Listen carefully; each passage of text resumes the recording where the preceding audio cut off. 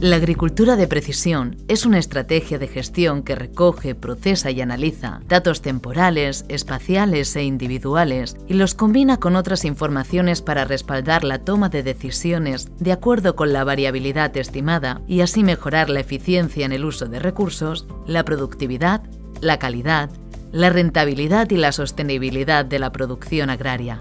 Todas las explotaciones pueden beneficiarse de la agricultura de precisión, gracias a los distintos niveles de trabajo variable, mapeo y comunicación.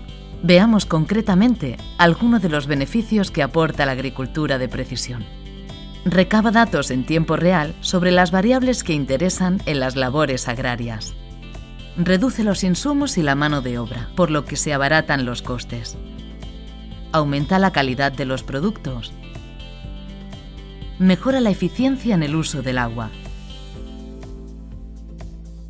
Disminuye el impacto en el medio ambiente.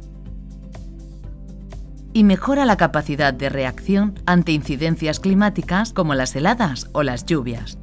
Vamos a enumerar ahora, a modo de ilustración, algunos ejemplos de tecnologías que pueden considerarse agricultura de precisión. Maquinaria equipada con sensores capaces de obtener información del terreno para la elaboración de mapas de cultivos. Abonadoras con dosificación variable para la aplicación racional de fertilizante según mapas incorporados. Sensores en picadoras de forraje para medición de humedad.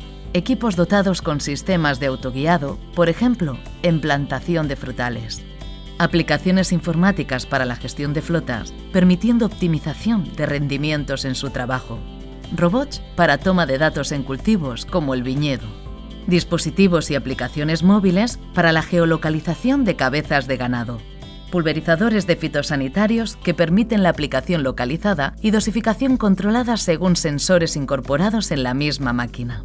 Carro mezclador con sensores NIR para la determinación de nivel de nutrientes de la ración Dentro del plan de recuperación, transformación y resiliencia, se ha articulado una línea para impulsar la agricultura de precisión y las tecnologías 4.0. Se enmarca dentro del plan de impulso de la sostenibilidad y competitividad y las bases reguladoras se encuentran en el Real Decreto 948-2021.